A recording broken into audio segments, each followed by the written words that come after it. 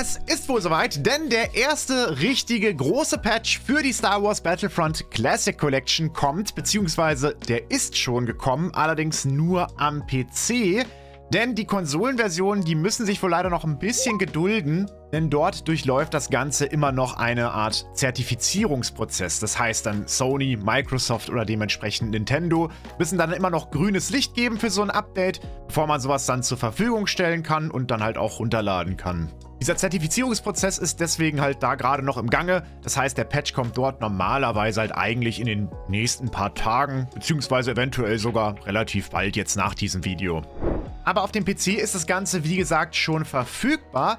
Und das ist wahrscheinlich auch ganz gut so, denn die PC-Version soll wohl wirklich auch einen Haufen an Bugs und Fehlern haben, die es so auf der Konsolenversion nicht gibt. Und ja, das vermischt sich irgendwo, von daher, ich werde einfach mal so ein bisschen diese Liste jetzt durchgehen. Die ist sehr lang und ausführlich.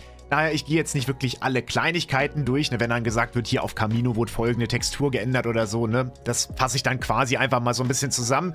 Wenn ihr denn Lust habt, die gesamten Patch Notes euch durchzuschauen, dann schaut das mal gerne an. Die sind in der Beschreibung verlinkt. Ich gehe hier halt, wie gesagt, auf die größten Veränderungen halt ein. Und wie gesagt, einige davon sind sowieso Fehler, die nur auf der PC-Version passiert sind.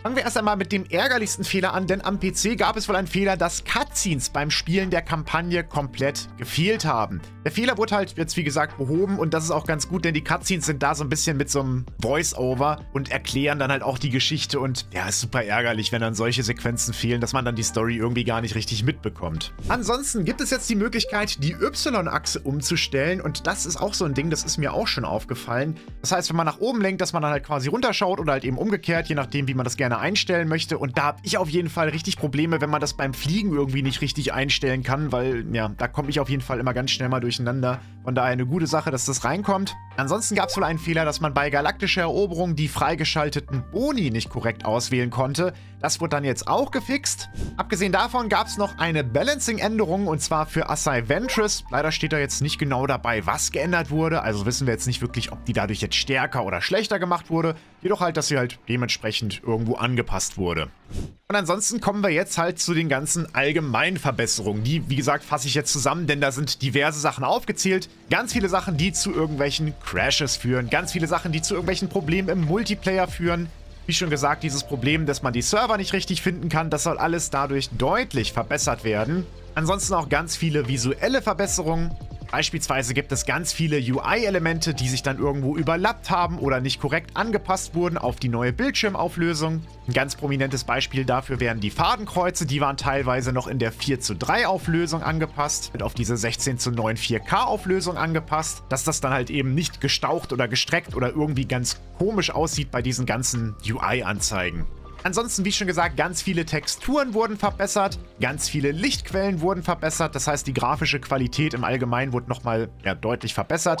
Wie ich das mitbekommen habe, gab es da wohl auf Hoth gerade extrem viele Probleme. Und das soll wohl durch das Update auch verbessert werden. Des Weiteren werden die KI-Einheiten teilweise gefixt, denn die sind manchmal einfach über den Boden geslidet oder teilweise auch irgendwie durch den Boden oder durch Wände ge gefallen, durchgeglitscht. Die Sichtbarkeit von manchen Effekten wird geändert. Hat wohl gerade was mit größeren Distanzen zu sehen, dass man dann jetzt beispielsweise irgendwie eine Explosion über größere Distanzen nicht sehen kann, was dann irgendwie merkwürdig aussieht, wenn dann ein Panzer vor dir explodiert und da kommt keine Explosion, sondern der geht halt einfach kaputt. Ansonsten gab es wohl gerade auf der PC-Version an diversen Türen im Raumschiff-Modus so weiße Würfel, welche in irgendeiner Form wohl halt Platzhalter sind, die dann halt eigentlich nicht für die Spieler sichtbar sein sollen. Die wurden dann jetzt entfernt und einige Kollisionsprobleme wurden behoben oder auch teilweise Probleme, wo sich das Spiel halt dann komplett gesoftlockt hat, wo man es dann nochmal komplett schließen und neu starten musste. Auf jeden Fall hier ganz viele allgemeine Sachen. Wie gesagt, wenn ihr das genauer wissen wollt, einfach mal selber in die Patch Notes schauen.